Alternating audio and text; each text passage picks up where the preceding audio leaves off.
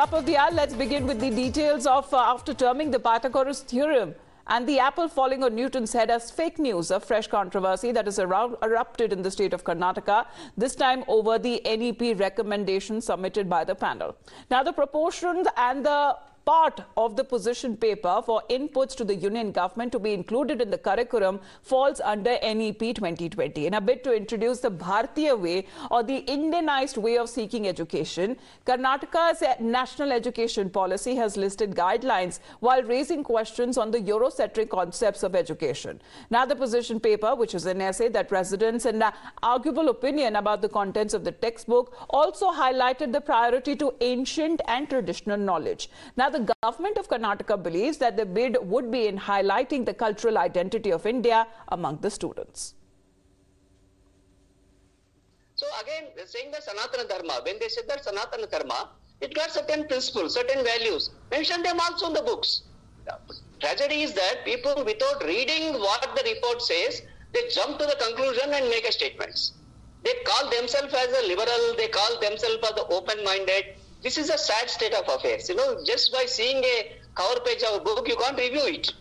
Obviously, there are certain plus points in that. Again, this is like position paper from Karnataka. Position papers of various states are compiled at NCERT. They are putting in a template. That template, finer points of each position paper, they will keep it. That will make made available to the mandate groups at national level. Good morning, Deepak, who is joining us on the phone line with more on this. Because what exactly is uh, the advantage and uh, disadvantage, the pros and cons that are being now cited by the Karnataka government on this? Because it has listed out several guidelines on the same issue that is now creating a controversy, Deepak. Yes, once again, uh, you know, textbooks come under uh, the scanner, uh, you know, the talks about what's going to be included and what's not. This, of course, is now a recommendation that has been made by the expert panel. Uh, the recommendation at this point in time, of course, uh, uh, comes in to the State Department of Research and Training. Now, this position paper, of course, will be sent to the NCERT as well. So, because it, it is a curriculum under the NEP, there will be course, a little bit of uh, influence of what the center has to say in this because position papers from various states will come in.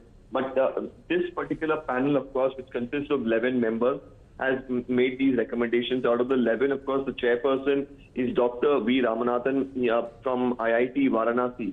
Now, they've mentioned various aspects. They've said that aspects such as Hindu genocide uh, of, uh, you know, uh, for example, like Kashmiri Pandit, uh, the genocide that happened there. He talks about uh, the genocide of uh, Maharashtrian Brahmins, also the Mapla riots. He said all of this, of course, uh, needs to find a mention in the history. He said, uh, you know, the expert panel suggests that not just that, uh, even even subjects in uh, like mathematics, like science as well, a colonial pattern of thought is followed, and a modern view of India and the history that India gathers with it needs to be looked into. All so right. we really have to see with these sort of suggestions made what will be inculcated and if it is, how the opposition really reacts to this.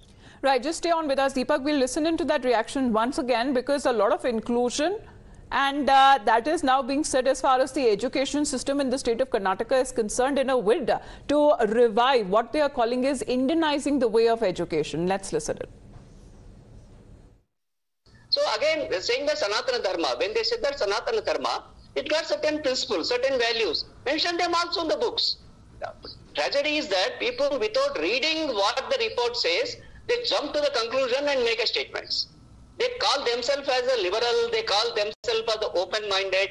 This is a sad state of affairs. You know, just by seeing a cover page of a book, you can't review it. Obviously, there are certain plus points in that. Again, this is like position paper from Karnataka. Position papers of various states are compiled at NCERT. They are putting in a template that template, finer points of each position paper, they will keep it. That will make made available to the mandate groups at national level.